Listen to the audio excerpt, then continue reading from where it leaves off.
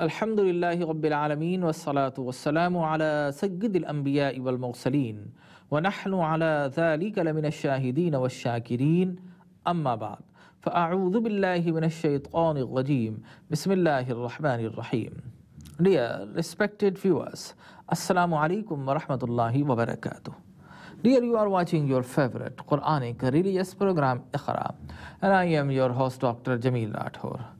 And in this program, we teach our viewers how to recite Holy Quran with proper pronunciation and accurate accent. So, according to the format and discipline of our program, first we shall give you the recitation of holy verses. And our today's program consists of verse number 16 to 19 of Surah Al Hadid of the 27th part of Al Quran. And as usual, you are requested to listen to these verses according to the canon of Sharia in which Allah wa ta'ala says, when Quran is recited, hear it properly, attentively, and be silent, so that God blessings may be achieved. So let us listen to these verses respectfully by Qari Ghulam Hassan al-Hasni. أعوذ بالله من الشيطان الرجيم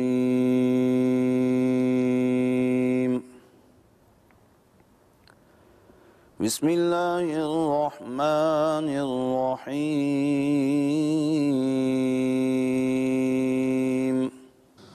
ولا يكونوا كالذين أوتوا الكتاب من قبل فطال عليهم الأمد فقست قلوبهم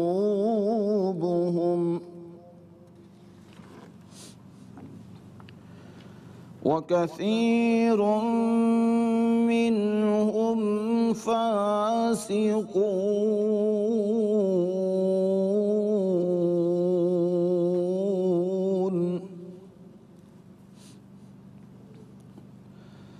اعلموا أن الله يحيي الأرض موتها. قد بينا لكم الآيات لعلكم تعقلون.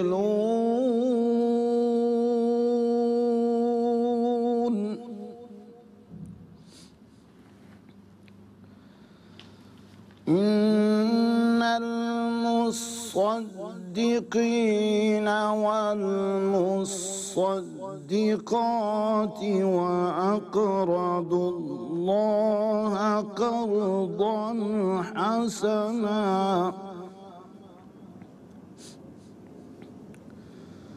وأقرضوا الله قرضا حسنا يضاعف لهم ولهم أجر كريم.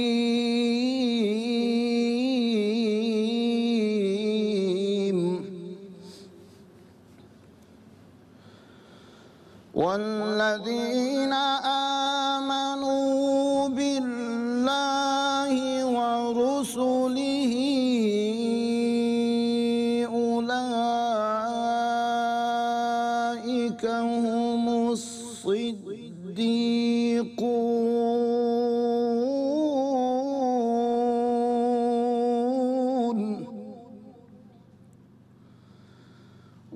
والشهداء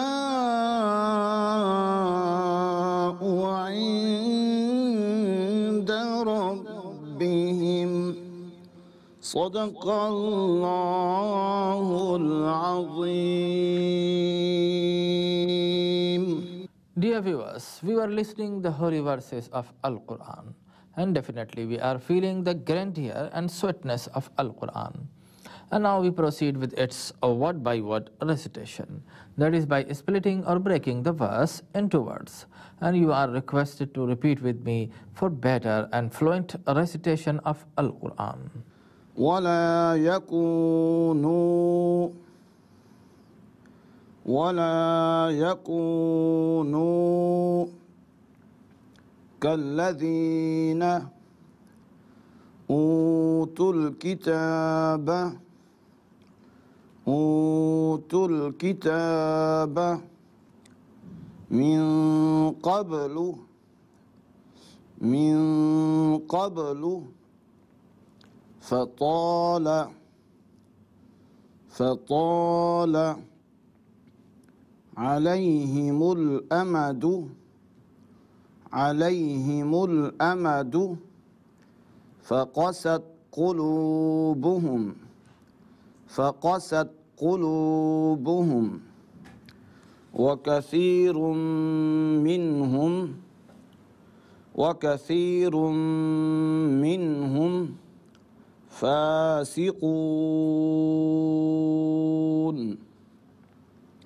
اعلموا أن الله اعلموا أن الله يحيي الأرض يحيي الأرض بعد موتها بعد موتها.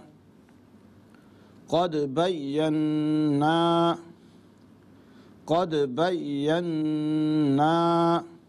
لكم الآيات لكم الآيات لعلكم تعقلون.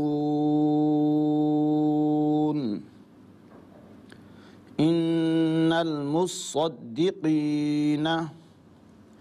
إن المصدقين والمصدقات والمصدقات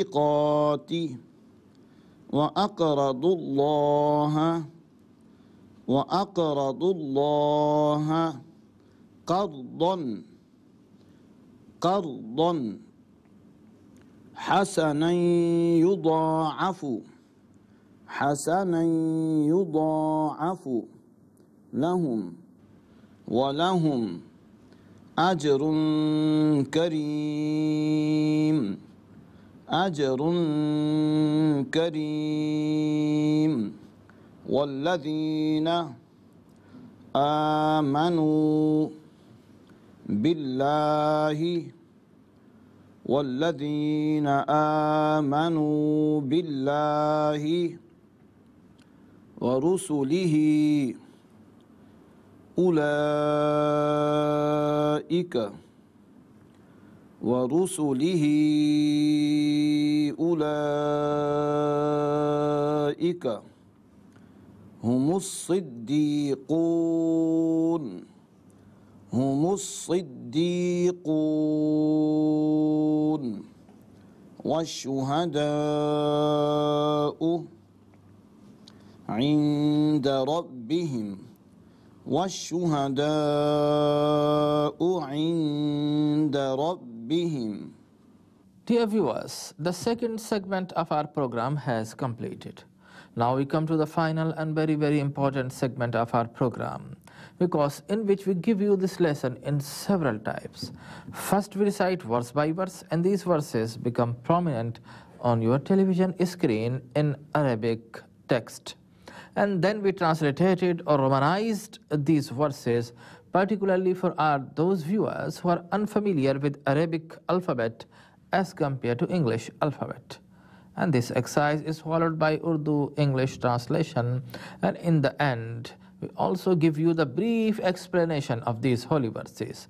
So keep on watching this program and stay with us. And I pray God grant us the capability, understanding, and act upon the holy verses, holy orders, and holy advices of the Quran. Amin. ولا يكونوا كالذين أوتوا الكتاب من قبل فطال عليهم الأمد فقست قلوبهم in Roman, وَلَا يَكُونُوا كَالَّذِينَ أُوتُوا الْكِتَابَ مِنْ قَبْلُ فَطَالَ عَلَيْهِمُ الْأَمَدُ فَقَسَتْ قُلُوبُهُمْ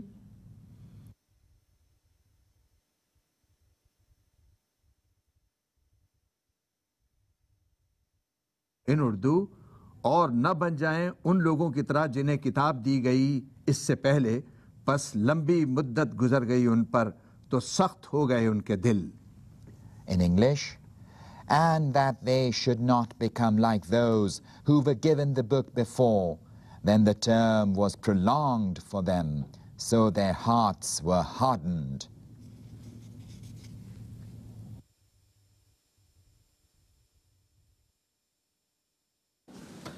وكثير منهم فاسقون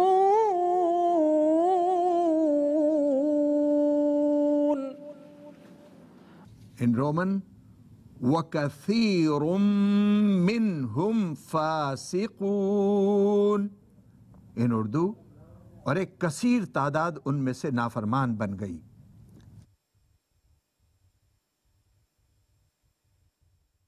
In English, and many of them are disobedient.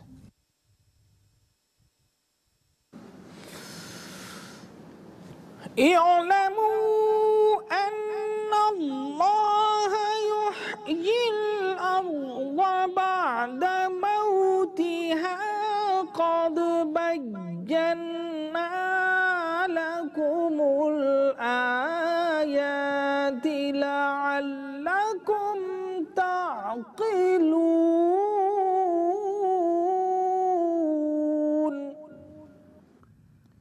Roman, اعلموا أن الله يحيي الأرض بعد موتها. قد بينا لكم الآيات لعلكم تعقلون.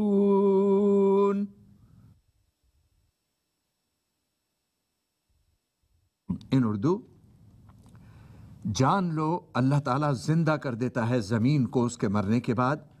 ہم نے کھول کر بیان کر دی ہیں تمہارے لیے اپنی نشانیاں تاکہ تم سمجھو۔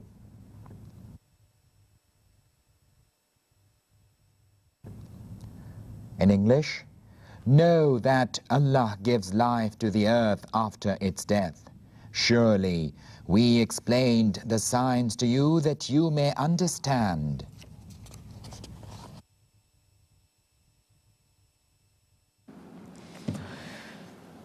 In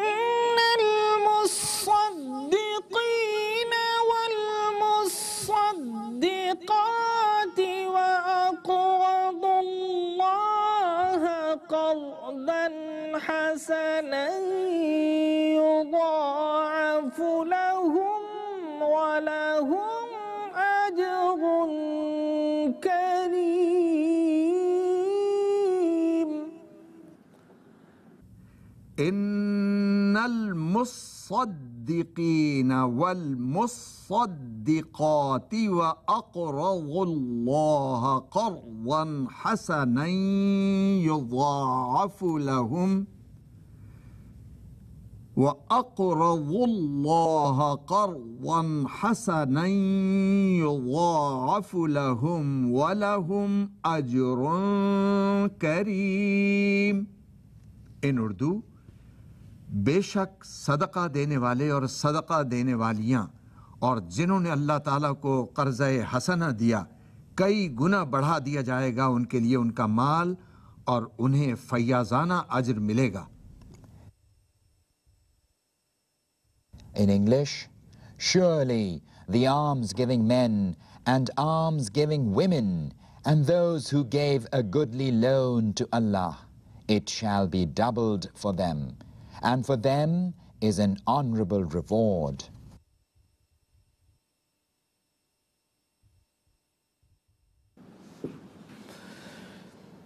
والذين آمنوا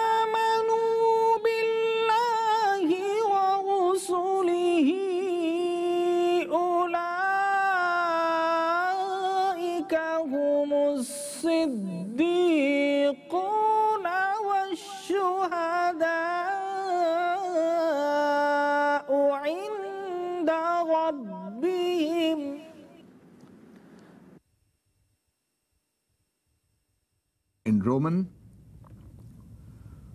والذين آمنوا بالله ورسله أولئك هم الصديقون والشهداء عند ربهم in उर्दू और जो लोग ईमान लाए अल्लाह और उसके रसूलों पर وہی خوش نصیب اللہ کی جانب میں صدیق اور شہید ہیں۔ ان کے لیے۔